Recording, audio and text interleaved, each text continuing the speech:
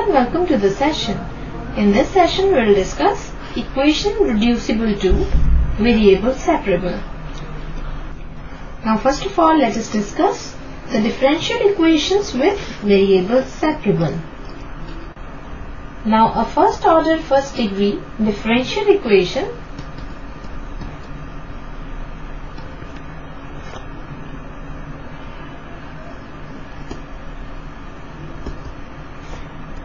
is of the form dy over dx is equal to f of xy. Now if f of xy is expressed as the product g of x h of y where g of x is the function of x and h of y is the function of y then this differential equation, let it be equation number 1, is said to be a variable separable type. Therefore, the equation number 1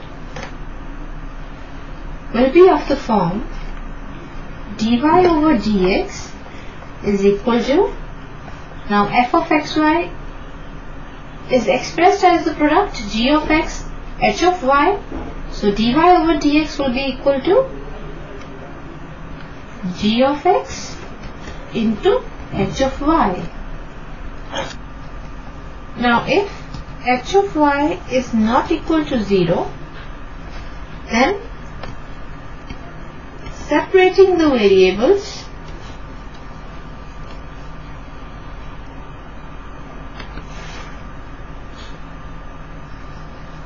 the equation that is this equation it be equation number 2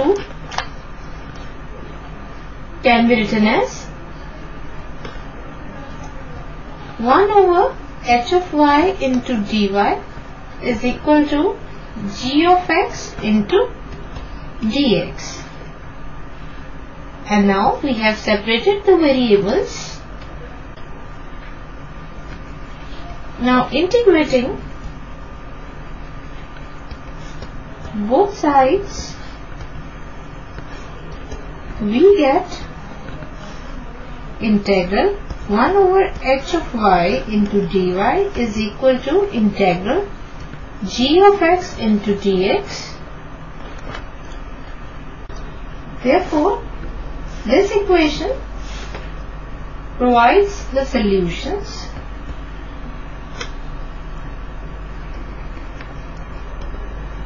of the given differential equation.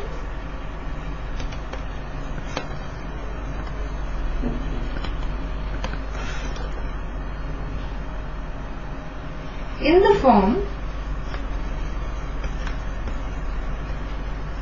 capital H of y is equal to capital G of x plus C where capital H of y and capital G of x are the antiderivatives of 1 over h of y and g of x respectively and c is the arbitrary constant. So this is how we can find the solution of the differential equations with variables separable. And now let us discuss the equation reducible to variables separable. Now sometimes in the differential equation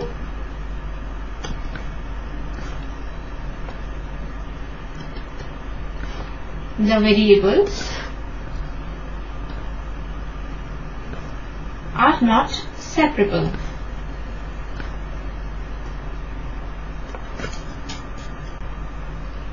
So in this case we change the variables by using a suitable substitution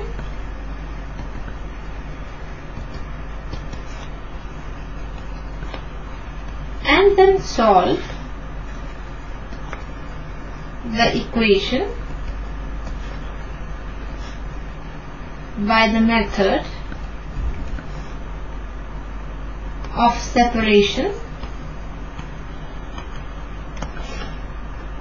of variables. Now let us take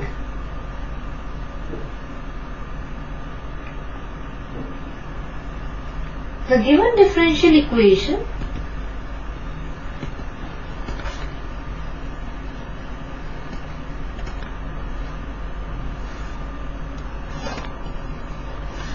is of the form dy over dx is equal to f of ax plus by plus c the whole.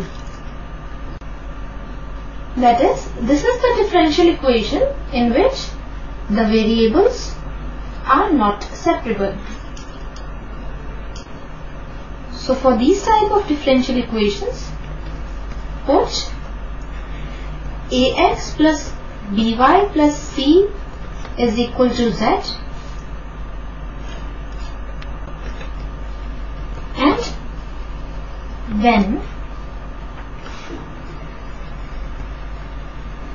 separate the variables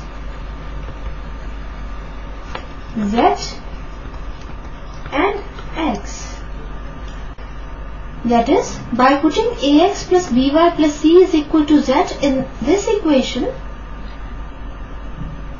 this given differential equation will be so expressed that the coefficient of dx is only the function of x and the coefficient of dz will be only the function of z. So we can easily solve that equation by using the method of separation of variables which we have discussed earlier. Now let us discuss it with the help of an example. Here, solve dy over dx is equal to 2x plus 3y plus 1 whole square. That is, we have to solve this equation in which the variables are not separable. Now we will start with its solution. Now in the first step, putting 2x plus 3y plus 1 is equal to z in this equation, that is equation number 1, we get dy over dx is equal to z square. Now let this be equation number 2. Now differentiating the equation number 2 with respect to x we get 2 plus 3 into dy over dx is equal to dz over dx which implies dy over dx is equal to 1 by 3 into dz by dx minus 2 the whole. Now let this be equation number 3. So putting dy over dx is equal to 1 by 3 into dz over dx minus 2 the whole in equation number 3 we get 1 by 3 into dz over dx minus 2 the whole is equal to z square which implies dz over dx is equal to 3z square plus 2 which further implies dz over 3z square plus 2 is equal to dx. So here we can see that the given differential equation is reduced to the differential equation of the type in which the variables are separable. Further, this implies dz over, now taking 3 common in the denominator, it will be 3 into z square plus 2 by 3 the whole is equal to dx which further implies dz over z square plus our 2 by 3 can be written as the root 2 by 3 whole square is equal to 3 into dx. Now integrating both sides we get integral dz over z square plus root 2 by 3 whole square is equal to 3 into integral 1 into dx. Now we know this result that is the integral dx over x square plus a square is equal to 1 over a tan inverse x over a plus c. Now here a is equal to root 2 by 3. So by using this result this implies 1 over a that is 1 over root 2 by 3 tan inverse z over root 2 by 3 is equal to 3 into x plus c. Now here c is an arbitrary constant and we will add this arbitrary constant on one side otherwise the solution obtained will not be general.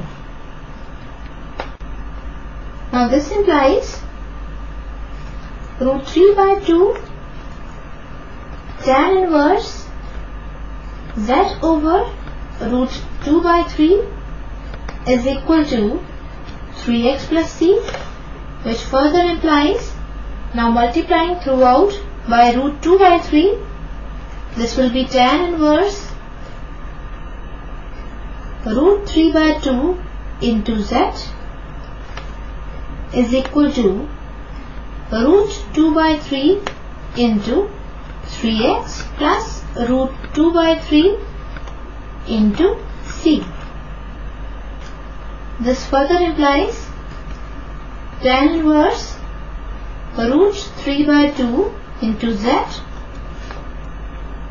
is equal to root 6 into x plus a where a is equal to root 2 by 3 into c. Now we have taken z is equal to 2x plus 3y plus 1. Now here putting z is equal to 2x plus 3y plus 1. This implies tan inverse root 3 by 2 into 2x plus 3y plus 1 the whole is equal to root 6 into x plus a. Now this implies root 3 by 2 into 2x plus 3y plus 1 the whole is equal to tan root 6 into x plus a the whole and this implies 2x plus 3y plus 1 is equal to root 2 by 3 into tan root 6 into x plus a the whole which is the required solution.